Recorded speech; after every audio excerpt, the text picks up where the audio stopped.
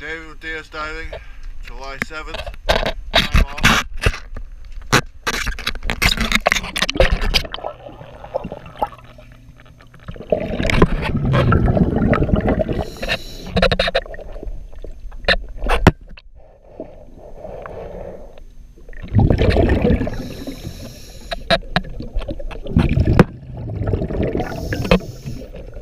Thank